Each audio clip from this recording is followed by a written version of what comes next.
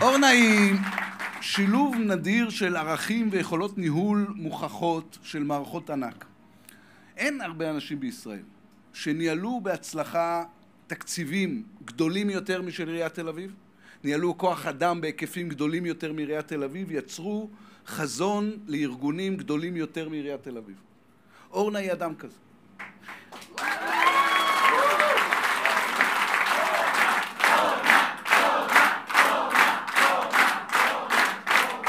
היא האישה הראשונה שהייתה ראש אגף כוח אדם בצה"ל, האלופה הראשונה במטכ"ל, האישה הראשונה שהייתה יושב ראש ועדת חוץ וביטחון של הכנסת,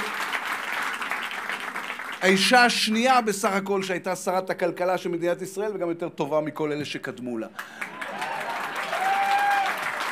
לכל אחד מהתפקידים האלה היא הביאה ערכים וחזון ואת היכולת לרתום אנשים כדי ליצור עתיד טוב יותר לכל אחד מהתפקידים האלה. היא הביאה יכולות ניהוליות יוצאות דופן. ואלה בדיוק היכולות שהעיר זקוקה להם היום. תל אביב היא עיר מופלאה אבל היא זקוקה לזריקת מרץ ניהולית. תל אביב, כן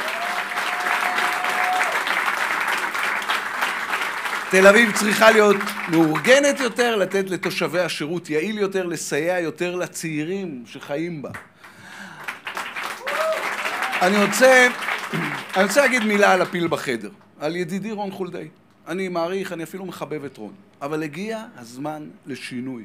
אין אדם, אין אדם מוכשר ככל שיהיה, שיכול לעשות את אותו תפקיד במשך יותר מ-25 שנה באותה רמה ובאותה איכות, הגיע הזמן להעביר את השרביט למחליפה המתאימה.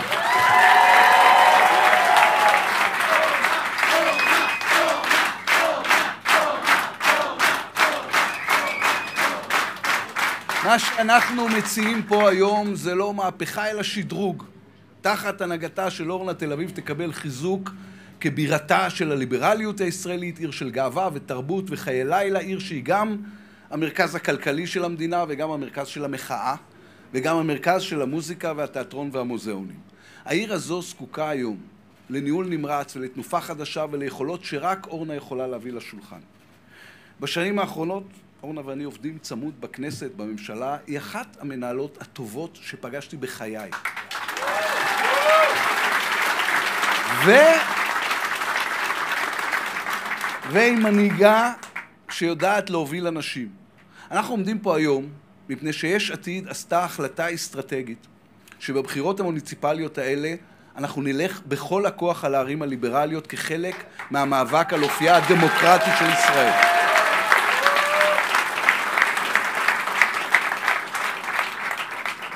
אבל יש לי עוד סיבה. אני תל אביבי. כל חיי אני גר בעיר הזו, ושאלתי את עצמי בידי מי אני רוצה להפקיד את העיר שאני חי בה והילדים שלי חיים בה. והתשובה היא אורנה ברביבאי. תודה רבה לכם.